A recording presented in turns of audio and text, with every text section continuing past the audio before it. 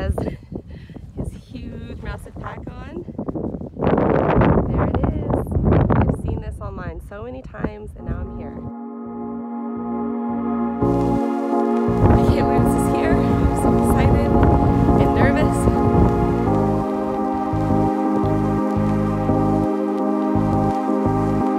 Life, life is, is just always mysterious and surprising.